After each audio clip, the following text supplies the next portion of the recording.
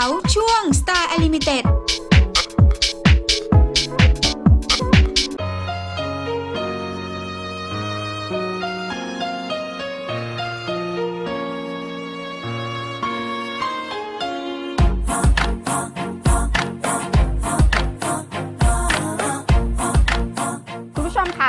คะที่เห็นแจงแต่งตัวแบบนี้ในบรรยากาศแบบนี้นะคะ น่าจะทราบค่ะว่าเป็นคอนเซปต์แบบไหน วันนี้แจนจะพาคุณผู้ชมเข้ามาในโลกแห่งเวทมนต์ค่ะ แต่ว่าเป็นเวทมนต์แห่งชาที่ร้าน Kaethy the Witch ค่ะ เดี๋ยวก่อนเดี๋ยวก่อนเดี๋ยวก่อน นี่ทำไมคะไม่รอกันเลยเหรอโอ้โหโอ้โหอุตส่าห์ไปเปลี่ยนเครื่องแต่งกายเครื่องแต่งกายมาโอ้โหให้เข้ากับคอนเซปต์นี่จะเข้าไปยังคะว่าจะเข้าไปแล้วเห็นยังไม่มาสักที อ่านี่มาแล้วค่ะ คุณผู้ชมค่ะเดี๋ยวเราเข้าไปข้างในกันแต่ว่า เดี๋ยวจอดยานพาหนะโอ้โหที่ขี่มาก่อนค่ะ นี่มีค่ะที่เขาจอดที่ด้วยจอดด้วยเก๋มากอ่ค่ะ เดี๋ยวตามแม่มดอย่างเราสองคนเข้าไปเลยค่ะ ไปค่ะ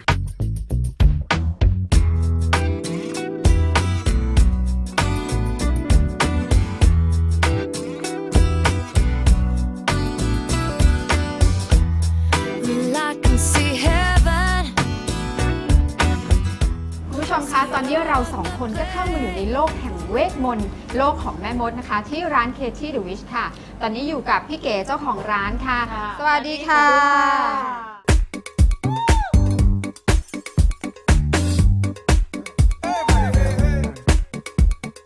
เก๋คะเริ่มแรกเลยค่ะทำไมร้านเนี่ยถึงเป็นคอนเซปต์แนวแม่มดคะอือืมคือจริงๆ แล้วเป็นคนชอบทำขนมอยู่แล้วค่ะนะคะก็คือเรียนจริงจังเลยนะคะ เรียนมาเพื่อที่จะอามอบความอร่อยอะค่ะให้กับทุกๆ คน เพราะฉะนั้นเนี่ยเราก็นึกว่าเอ๊ะคือมันต้องมีเวทมนต์มีอะไรอย่างเงี้ยค่ะค่ะถึงจะแบบเสกความอร่อยแบบปิ้งออกมาได้อย่างเงี้ยค่ะ เราก็เลยค่ะคิดเป็นคอนเซ็ปต์แบบนี้ขึ้นมาค่ะ แต่ว่าค่ะสิ่งที่เห็นอยู่ตรงนี้เนี่ยค่ะมันคือความวาไรตี้มันคือการที่เอา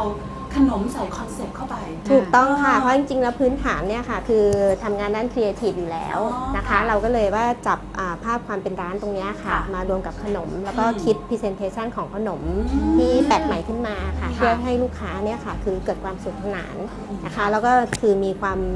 อ่าแฟนตาซีอืมเกิดขึ้นนะที่นี่ค่ะค่ะ ก่อนที่จะมาลงเอยในคอนเซปต์ที่ว่าอือฮึเนี่ยที่แม่มดเนี่ยค่ะค่ะ เรามีคิดหลายๆคอนเซปต์ ก่อนที่จะมาแบบโอเคตกผลึกอันนี้แล้วมีไหมคะไม่เลยค่ะ มุ่งมั่นมามุ่งมั่นถูกต้องค่ะแน่วแน่แน่ววแน่เลยว่าคือต้องออกมาเป็นอย่างนี้ ส่วนตัวคือพี่เก๋ชอบแม่มดหรือเปล่าถึงได้วางคอนเซปต์ว่าร้านนี้น่าจะเป็นโลกของ เวทมนต์ของแม่มด คือจริงๆอะอยากที่จะให้ทุกคนนะคะคือย้อนกลับไปในความรู้สึกของวัยเด็กค่ะด้วยค่ะค่ะก็เลยสร้างคอนเซ็ปต์นี้ขึ้นมาก็เหมือนกับว่าตอบสนองกับตัวเองด้วยอย่างพออย่างเราพอเข้ามาเราก็จะสนุกสนานนะใช่แต่งตัวเป็นแม่มดค่ะเข้ามามีความสุขอืมประมาณนั้นนะค่ะมันเป็นความฝังใจแต่ตอนนั้นแหละว่ามันเป็นมันเป็นคอนเซ็ปต์ที่มีเสน่อืมพอมาเอามาจับสร้างสรรค์ใส่ของ ขนมที่เห็นอยู่นี่มันก็สนุกอะ ใช่ เพราะว่าจริง ๆ แล้วถามถามทางพี่อะพี่อาจจะตอบได้ไม่หมดเปลือกจริง ๆ ต้องถามฟีดแบ็กจากคนที่ค่ะมาสัมผัสร้านเรามากกว่า ว่าเออมาแล้วรู้สึกยังไงอะไรอย่างเงี้ยอืมเป็นไงบ้างคะ ค่ะ ก็จะตอบได้เต็มที่ โอเค ก็เริ่มจาก ต้องเริ่มจากขนมที่โอเคอ่างั้นเดี๋ยวมาเข้ากันดีกว่าค่ะอ่าว่ามีอะไรบ้างเราจะมีเวทมนต์อะไรเสกมาให้เป็นขนมอร่อยบ้างอ่านะคะ อันนี้นะคะคือปกติแล้วเนี่ยคือความเป็นแม่มดอะค่ะเขาก็จะมีสวนสมุนไพรอ๋อเล็กๆอยู่ข้างหลังบ้าน เพื่อที่จะเก็บมาปรุงมาแบบใส่เป็นเวทมนต์ในขนมต่างๆ เพราะฉะนั้นอันเนี้ยค่ะ เราก็ทำ presentation เป็นค่ะกระถางสมุนไพรของแม่มด แต่จริงๆเนี่ยคือลูกค้ามาลูกค้าจะตกใจ เอ๊ะทำไม Kaethy the Witch มีปลูกต้นไม้อยู่ในตู้เค้กอ่าใช่อ่า เหมือนมากเหมือนมากเพราะนั้นเราต้องมาเฉลยว่าไม่ใช่นะคะ อันนี้เป็นคือช็อกโกแลต pot ค่ะอืมข้างในเนี่ยก็คือเป็นช็อกโกแลตเข้มข้นค่ะนะคะ สลับชั้นกับเนื้อเค้กแล้วก็ค่ะมีแมคคาเดเมียซ่อนอยู่ค่ะซึ่งจานเนี้ยค่ะจะสร้างความสนุกสนานให้กับค่ะลูกค้าด้วยการที่ว่าเรามีอุปกรณ์มาให้ค่ะขุดเจาะด้วยที่ทำพลั่วทำสวนสมุนไพรใช่ทำสวนสมุนไพรคือกว่าค่ะที่สมุนไพรจะเติบโตได้ค่ะเราก็ต้องนะควนดินให้น้อ๋อมาำมาค่ะเชิญเลยค่ะทำไง คะคือต้องบอกคุณผู้ชมว่า มันน่ารัก มันสวย มันเก๋สมชื่อจริงๆอะจน จนไม่กล้า แต่ว่าทั้งทั้งนั้นเนี่ย ค่ะ สิ่งสำคัญคือความอร่อยนะ ขอค่ะดูนะ พี่เก๋ค่ะคะเชิญเลยค่ะ ต้องดึงอะไรยังไงออกไหมคะ ก็นิดนึงใช่ไหมคะเดี๋ยวนะวิธีใช้การอันนี้ค่ะพรวนไปเอาใช้รอบนี่ๆก่อนนะคะ ต้นไม้พรวนจะได้รอบเติบโตแข็งแรงนี่อ่าแต่ว่าใช่ให้มันค่ะสุกก็คืออยู่ในจานนี่อยู่ในจานทแล้วได้ค่ะ อ่าต้องอย่างนี้ะที่เห็นนี่คือทานได้ไม่ใช่ดินไม่ใช่ปุ๋ยคอกนะคะเดี๋ ยวตกใจ ตกใจทานได้นะคุณผู้ชมค่ะทานไม่ได้คืออุปกรณ์นี่แหละแค่นั้นค่ะอ่าค่ะอะแล้วยังไงต่อคะพี่เก๋คะโอเคค่ะอะอันนี้ค่ะแล้วก็คือไซส์จะค่อนข้างค่ะเป็น Family Size นิดนึงอะค่ะค่ะเหมาะสำหรับการที่มาเป็นครอบครัวค่ะหรือว่ามาเป็นกลุ่มของอืมเพื่อนๆอะนะคะค่ะอ่าอั นนี่ก็จะตักปุ๋ยแบ่งกันไป ตักปุ๋ยตักดินแบ่งกันไปค่ะใครว่างก็มาพรวนต่อนะคะอืมอันนี้ก็คือเราใช้เป็นช็อกโกแลตแท้ค่ะค่ะเพราะฉะนั้นเนี่ยก็คือจะค่อนข้างเข้มข้นเข้มเหมืข้อนนอืมเหมือนเราได้ทานแบบว่าใช่ช็อกโกแลตอะค่ะค่ะเดี๋ยวต้องถามถึงเรื่องของวัตถุดิบหน่อย ค่ะค่ะการคัดนี่ค่ะวัตถุดิบมาทำปุ๋ยคอกขนมหรือให้เราอ๋อค่ะจากยังไงคะค่ะ คือจากที่เรียนเรียนที่ Le Cordon Bleu มาค่ะค่ะก็จะอ่า ถูกสั่งสมมาว่าคือวัตถุดิบวัตถุดิบดีจะทำให้ขนมอร่อยอืมนะคะ เพราะฉะนั้นเนี่ยเราก็จะมีพื้นฐานในการเลือกวัตถุดิบนะคะที่ค่อนข้างที่จะคุณภาพนะคะ เพราะฉะนั้นเนี่ยคือลูกค้าที่มาทานเนี่ยเขาจะสัมผัสได้เลยว่าจริง ๆ วัตถุดิบเราเนี่ยคือเป็นวัตถุดิบที่ดี สมชื่อเลยแล้วก็สามารถที่จะซื้อไปเป็นของฝากได้ ใช่ค่ะเนอะเป็นแบบเยอะมากเลยน่ารักอย่างช่วงเอามาเปิดได้เนอะอย่างช่วงวันเอิร์ธเดย์ที่ผ่านมาค่ะค่ะมีลูกค้ามาซื้อไปเป็นของขวัญกิมมิกอะไรกันอ๋อเยอะเหรอมากค่ะ เก๋โอ้อะโอเคอะหนึ่งค่ะผ่อะนหนึ่งไปอย่างค่ะ ต่อไปค่ะ ค่ะภูมิใจนำเสนออันนี้มากกาแฟอะไรคะ เมื่อกี้เห็นมีใครคนนึงเกือบจะยกมืใช่อใช่มันไม่มันไม่มันไม่ใช่กาแฟนะคะอ่าค่ะคือคือเป็นเค้กค่ะเป็นค่ะแต่เป็นเค้กกาแฟอ๋อ นะคะ ชื่อแมคเกแมคกีอาโต้เค้ก ค่ะ เป็นค่ะเค้กใช่ เกือบไปแล้ว เกือบแล้วใช่ไหมใช่ คะอ่ายังใช้อุปกรณ์ซึ่งช่วย ต้องบอกคุณผู้ชมว่าไม่ได้หลอกนะคะ เราไม่ได้มีเวทมนต์ใดๆทั้งสิ้นอ๋อ นี่ อะอันนี้ยังไงคะ ค่ะเป็อันนี้ก็คือที่ชื่อว่า Caramel Macchiato Cake นะคะค่ะเพราะว่าข้างในเนี่ยค่ะก็คือเป็นเนื้อเค้กกาแฟอืมแล้วสลับชั้นกับครีมคาราเมลค่ะนะคะ แล้วก็มีแมคคาเดเมียซ่อนอยู่ด้วยค่ะนะคะ อันนี้ก็จะเป็น presentation สนุกสนุกสนุกค่ะอันนี้ก็เป็นอีกตัวหนึ่งอะค่ะที่เขานิยมซื้อไปฝากกันอืมคนได้รับก็จะเอ๊ะเธอซื้อกาแฟร้อนมาฝากฉันเหรอแต่ไม่ใช่มันเป็นเค้กเราไม่มีเวทมนต์คุณผู้ชมดูอีกทีนะคะขอกินได้เอากินค่ะมาค่ะ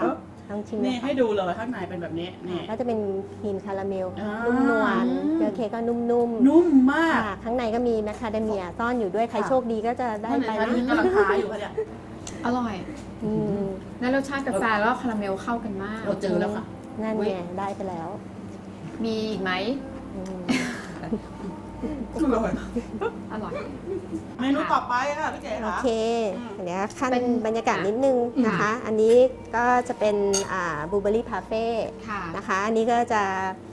มีเรื่องราวนิดนึงอะค่ะ ค่ะเหมือนกับว่าเคที่อะค่ะ ค่ะ คือเขาคิวตะกร้าเข้าป่าไป เก็บผลเบอร์รี่มา อ๋ออ่า คัดเลือกมาเพื่อมาทำเมนูพิเศษอันนี้ค่ะค่ะ อันนี้ก็จะค่ะใช่อันนี้ก็จะประกอบไปด้วยอ่าฐานพายค่ะหยิบทั้ง เอามาแค่ขวดได้เลยโอเค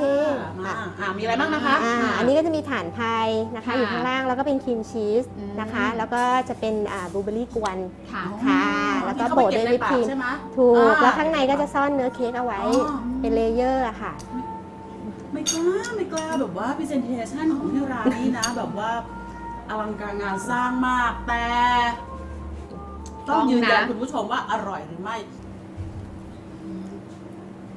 มันจะมีความเปรี้ยวๆนิดๆนะใช่ค่ะมันมันเป็นครีมชีสอ่าที่รสชาติเบาๆอะค่ะอ่านะคะค่ะกินแล้วสดชื่น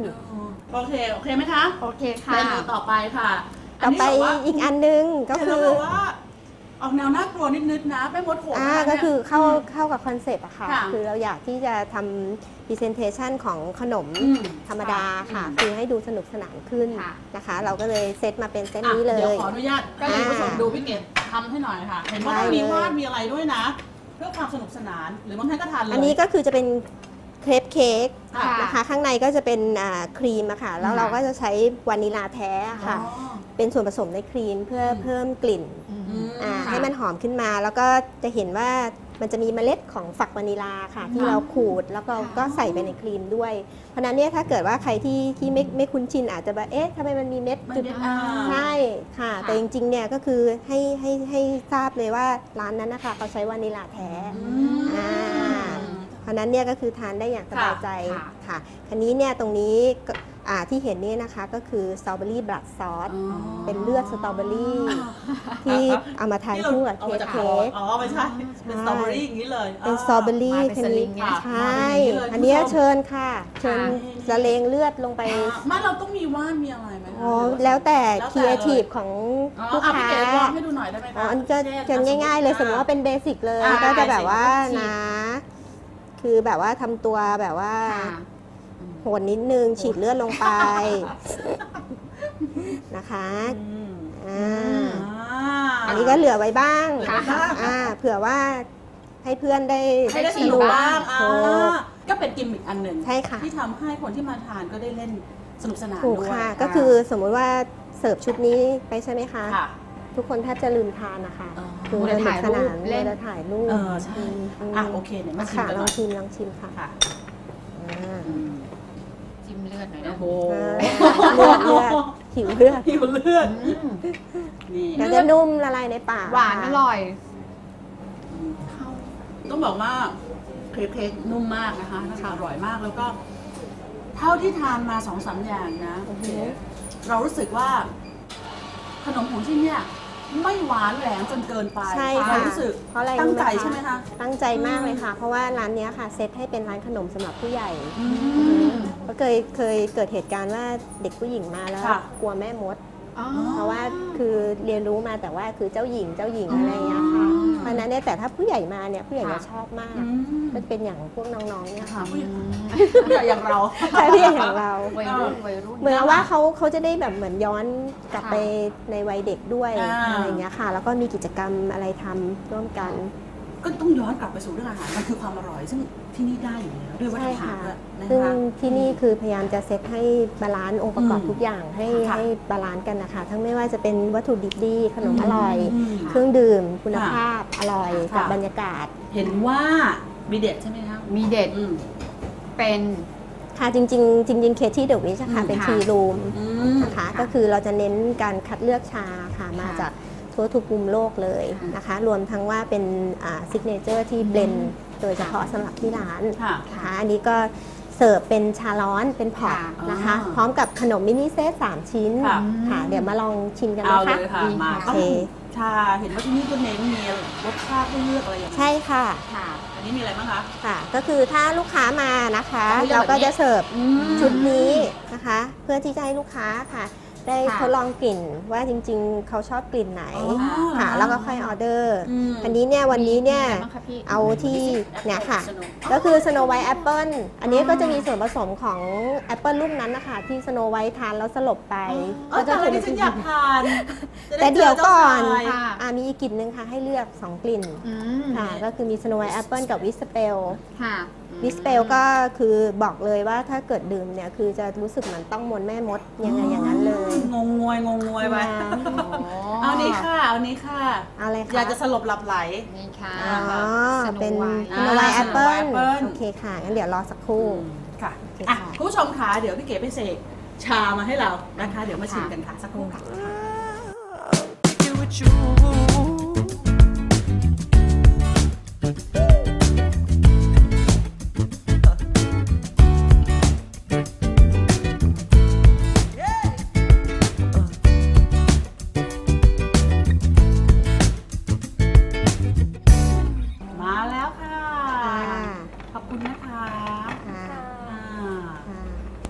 อันนี้อันนี้นะคะก็คืออ่านาฬิกาจับเวลานะคะอ๋อค่ะ ต้องมีพิธีกรรมอะไรไหมคะพี่เก๋คะอันนี้ จับเวลาขนาดนี้ อ่าถ้าถ้าจะให้พูดอย่างนี้คือพิธีกรรม อ่า แต่ว่าเอาจริง ๆ แล้วเนี่ยก็คือ ชาค่ะเขาค่ะต้องการเวลาในการอืมที่จะทำงานให้เต็มที่อืมค่ะแล้วก็ต้องดูก่อนนะคะ ว่าเบสชาที่สั่งอะค่ะเป็นชาอะไรอย่างค่ะเช่น เป็นชาดำอะค่ะประมาณค่ะ3นาทีอืมถ้าเป็นชาเขียวก็ 5 นาทีก็นานค่ะก็อยู่ในช่วงจังหวะที่เหมาะสมที่อืมชาเขาทำงานเต็มที่อ๋อจะได้กลิ่นแล้วก็รสชาติที่ค่ะเป็นของเขาจริงๆนะคะ อันนี้เราก็ ตั้งรอไว้เวลาอ่า ปกติแล้วอ่าพนักงานนะคะเขาจะคอยดูเวลาให้อืม ค่ะ ถ้าเวลาหมดเนี่ยก็จะมาเทให้มาดึงชาให้ อ๋อนั่นค่ะ คือจังหวะเวลาก็มีส่วนสำคัญ ใช่มันจะค่ะทำให้รสชาติของชาเนี่ยอร่อยมากยิ่งขึ้น คือใช่ไหมคะเรียกว่าเขาทำงานเต็มที่มากกว่าแต่ถ้าเกิดสมมุติว่าเราเราเราทิ้งชาไว้ในน้ำร้อนนะคะ ค่ะเลยจากช่วงเวลานี้ไปจะสังเกตว่ามันจะมีความฝาดออกมาอ่าใช่ ค่ะสีซึ่งเข้มซึ่งตรงนั้นนะคะเป็นสิ่งที่เป็นรสชาติที่ไม่พึงประสงค์อืมค่ะ เพราะฉะนั้นเนี่ยก็คือต้องมีการจับเวลา ที่เหมาะสมอะใช่ค่ะ ในในทีเซตก็จะมีชาอย่างค่ะที่บอกแล้วก็มี แล้วก็มีเป็นขนมมินิเซตให้ด้วยค่ะ3ชิ้น อันนี้ก็ค่ะคือจะหมุนเวียนเปลี่ยนกันไปค่ะค่ะตามแต่ละสัปดาห์บ้างเดือนบ้างอะไรอย่างเงี้ยค่ะค่ะมาครั้งหน้าก็อาจจะเป็นขนมหน้าตาอีกแบบหนึ่งค่ะแต่ที่ยืนพื้นเนี่ยค่ะก็จะเป็นสโคนค่ะนะคะสโคนอันนี้ก็จะเป็นสโคน devil ค่ะก็จะหน้าตาน่ารักอะไรอย่างเงี้ยค่ะอ่าซึ่งสโคนก็จะเปลี่ยนกันไปตามแต่ละสัปดาห์เหมือนกันค่ะอาทิตย์นี้ที่ที่น้องสองคนมาอืมก็จะเป็นลาเวนเดอร์อ๋อค่ะเพิ่งทานกับอ่าแยมสตรอเบอรี่ strawberry homemade ค่ะค่ะ อันนี้ก็คือเราก็ทำเองด้วยอืมนะคะส่วนนี่เลยครับค่ะชิ้นนี้ก็จะเป็นพานาคอตต้าส้มค่ะค่ะ แล้วก็อันนี้ก็จะเป็น blueberry cheese tartlet ค่ะค่ะ ก็จะเป็นประมาณนี้แล้วถ้าสมมติว่าค่ะเราเรารู้สึกว่าขนม mini set เนี่ยคือไม่เพียงพอ ค่ะสมมติว่าเราชอบเรากินเยเยอะอะๆอะไรอย่างเงี้ยอ่าก็สั่งหน้าเราตู้กินเยอะ พี่ก็จะพุ่งเป้ามาทางอ่านี้เลยค่ะถูกใช่แล้วก็จะเอาอะไรก็สั่งเพิ่มได้ ใช่ก็คือสั่งเพิ่มได้คือเป็นการเปิดโอกาสให้กับลูกค้าด้วยอะค่ะ ว่าคืออยากทานอะไรเพิ่มไหมจากในเซตนะคะอืม เราก็เลยจัดมาเป็นเซตเล็ก ๆ ก่อนค่ะ ค่ะค่ะ ถามว่าอ่าในวัฒนธรรมการดื่มชาบางคนอาจจะเคอะเขินกับการที่ว่าเราต้องไปโรงแรมหรูๆแต่งตัวดีๆหรือค่ะเข้าไปในห้างค่ะมีขนมเยอะๆ เป็นชั้นเยใช่อะใช่ๆเลือกยากอะไรอย่างเงี้ยค่ะค่ะอันเนี้ยเราก็เลยแบบทำให้เข้าถึงเข้าถึได้งได้ง่ายขึ้นง่ายเพื่อที่จะอ่าให้อ่าคนที่เขารักชาจริงๆเนี่ยคือเขาได้ดื่มชาจริงอืมๆในบรรยากาศที่แตกต่างไปค่ะ ค่ะอืมต้องบอกว่าเรื่องง่ายขึ้นแล้วไม่ได้ค่ะต้องกังวลต้องไปอะไรหรูๆเกินไปใช่มาแบบนี้แหละมาที่นี่ก็ได้เลยค่ะนะคะอ่าคันนี้หมดเวลาแล้วค่ะ จะต้องมีค่ะคันนี้ก็วิมีธีทำนิดนึงค่ะ มีการขออนุญาตลินชาให้นะคะค่ะนี่ค่ะค่ะที่เราทำแบบเนี้ยค่ะ เพราะว่าคือบางทีมันจะมีอ่ากากชาค่ะ ตกมาในถ้วยเราเพราะฉะนั้นเราก็ต้องกรองนิดนึงค่ะซึ่งตรงเนี้ยค่ะ ลูกค้าก็จะได้เห็นด้วยว่าส่วนผสมของชาที่เขาได้เลือกอะค่ะค่ะ มันมีอะไรอยู่บ้างอืมทีเนี้ยกลิ่นแอปเปิลขึ้นมามาเลเลยยค่ะมาเลยมาค่ะเลยอ่าเอาไปค่ะอ่าค่ะอันนี้จะลองลินเองไหมคะลินเองไหมคะอ่ามาค่ะเดี๋ยวลองดูค่ะเดี๋ยวค่ะเดี๋ยวก็อ่าลินเองได้นี่ถูกต้องค่ะ นิ้วต้องนิดนึงอ่านะนิดนึงนะคะค่ะค่ะค่ะอันนี้ร้อนคือร้อนนะคะเนี่ยร้อนอืมอันนี้การเรนชาที่ถูกต้องก็ต้องประมาณ อย่างนี้ใช่ไหมคะอ๋ออันนี้เราไม่ได้ซีเรียสอะไรมากค่ะ คือค่ะจริง ๆ แล้วมีคืยังอไงก็ได้ใช่ดื่มให้มีความสุขเถอะอ่าถ้าเราดื่มถูกถ้าดื่มชาดีๆค่ะแพงๆแล้วรู้สึกค่ะไม่มีความสุขก็อย่าไปดื่มอ่า ดื่มอะไรที่มีความสุขค่ะเพราะว่าบางทีอะไม่กล้ากินเพราะเกรงนะบางคนใช่ก็รู้สึกว่าคุณจะต้องแบบเอ่อพิธีผู้หญิรีตองอังกฤษเยอะจะต้องจับแบบให้ถูกต้องอะไรเงี้ยไม่ไม่ไม่หอมคุณผู้ชมหอารมณ์ดีขึ้นเลยไหม อ๋อหอมมากโอ้โหมันช่วยจริงๆช่วยจริงค่ะ คือได้กลิ่นก็สดชื่นแล้แล้ววก็อะ ทานคู่กับอันนี้นะสโคนี่ของโปรดเลยนะอืมนะเดี๋ยวต้องทานซะหน่อยลองทานดูแต่ต้องบอกว่านี่แอปเปิลใส่ยาพิษหรือเปล่าคะ ก็นิดนึงอะค่ะอะไรก็วะก็สโนไวท์แล้วนะคะ ก็แอบเหยาะลงไปนิดอ๋อนึนี่งนะนะคะ เพราะว่าเป็นชาเลยนะคะ ไม่เป็นเวทมนต์ Snow White เว Apple ทมนต์ให้สวยเหมือนสโนไวท์อ่ามากกว่านะคะ เดี๋ยวรอเจ้าชายมานิดนึงนะคะอะค่ะ โอเค อร่อยทีเดียวค่ะแหมเห็นไหมแจงขาสนุกไหมคะสนุกอ่าค่ะ คุณผู้ชมคงต้องบอกว่า อยากจะตามมาแล้วแหละค่ะ ค่ะ พี่เก๋บอกทางมาคุณผู้ชมหน่อยค่ะ อืม ถ้าอยากจะมาที่ร้าน Kaethy the Witch ร้านเคที่เดอะวิทนะคะ ตั้งอยู่ที่ซอยลาดพร้าว71 ในซอยย่อยเป็นซอยนาคนิวาส41 นะคะ อืมค่ะพอเข้าซอยนาคนิวาส41 มาประมาณ 200 เมตรนะคะจะเจอว่าร้านอยู่ทางขวามืออมนะคะ สังเกตเป็นโลโก้หน้าร้านได้ชัดเจนค่ะ เบอร์โทรนะคะคืออาตอนนี้โทรเข้ามาหาคุณแม่มดเก๋โดยตรงเลยค่ะนะคะอืมหมายเลขนะคะ 081 ค่ะ 916 8447 ค่ะ อืมแล้วก็มี Facebook ด้วยนะ อ่า ใช่ค่ะ ก็คือมีอ่า fanpage Facebook นะคะ ก็คือพิมพ์ Kaethy the Witch เลยอะค่ะ ตามชื่อร้านเลยค่ะ ค่ะ และถ้าคุณผู้ชมนะคะ อยากจะมาทานขนมหรือว่าชาที่ร้าน Kaethy the Witch นะคะ วันนี้ค่ะทางร้านมี tea set มาแจกค่ะ กี่ชุดคะพี่ จากเดิมอะค่ะก็คือจะมีขนมเป็น mini set อยู่แล้ว 3 ชิ้นค่ะนะคะ ถ้าลูกค้าสั่ง tea set ก็จะได้เซตนี้ไป แล้วก็ค่ะเพิ่มเป็น super brownie อะค่ะ อ่า เพิ่มให้หนึ่งชิ้นด้วย คือได้ tea set อยู่แล้วแบบนี้ค่ะค่ะนะคะแบบแบบครบๆนะอ่าค่ะ แต่เพิ่ม เป็นเพิ่มบราวนี่เข้าไปอีกใช่ค่ะค่ะ อีกหนึ่งชิ้นใหญ่ ๆ เลยโอ้เพื่อแฟนรายการใจดีมาก อ๋อเลยค่ะ double chocolate หนึบหนับเลค่ะ ยบราวนี่ของเรากี่ชุดคะพี่5ชุดไปเลยไหมห้าชุดเราขอค่ะ เก็บไว้เราคนละชุดสองชุดก่อนได้ไหมถามใครอ๋อจริงๆแล้วไม่ได้นะคะ เป็นค่ะ กฎกติกาของเราค่ะ ต้องให้คุณผู้ชมทั้งหมดเลย ค่ะ แต่ว่าต้องมร่วมสนุกกับทางรายการค่ะหน่อยนะคะอืมให้คุณผู้ชมตอบคำถามเข้ามาค่ะว่าโลโก้ของร้าน Katy The Wish นะคะ เป็นรูปอะไร แอบดูจะเป็นแม่มดอ่า แม่มดพี่เก๋ขี่ขี่ขี่ไม้ขี่ไข่ก็ให้ไหมทางรายการให้ให้ไหมให้อะให้นะใจดี อะใจดีตอบเข้ามาเถอะค่ะตอบเข้ามาค่ะ ตอบมาที่ SMS นะคะ อืม 4221980 หรือว่าอีเมล saturdaytalk@hotmail.com ค่ะ อ้าวละค่ะวันนี้ต้องขอบคุณ พี่เก๋มากนะคะ ค่ะที่มาขอบคุณแนะเหมือนกันนำร้านดีๆขนมอร่อยๆแบบนี้ ขอให้ลูกค้าเยอะโอ้ๆนะขอบคุณมากเลยค่ะขอบขอบคุคุณณค่ะจริงๆขอบคุณค่ะค่ะ สวัสดีค่ะอะหมดหน้าที่ของเราแล้วค่ะนะคะไปปาเราจะขี่ไม่กวาดไปกี่ไม่กวาดเปล่าให้กวาดเมื่อกี้ กวาดนะคะ กวาดเปื้อนเต็มเลย ค่ะกวาดค่ะ ร้าน Katy The Wish มอบทีเซ็ตจำนวน 5 ชุด เพียงตอบคำถามเข้ามาว่า โลโก้ของร้านเป็นรูปอะไร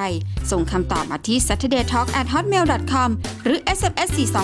4221980 ตอบถูกรับไปเลยค่ะ ทีเซ็ต1ชุด พร้อมขนมบราวนี่เพิ่มอีก 1 ชิ้น แล้วรีบๆส่งกันเข้ามานะคะ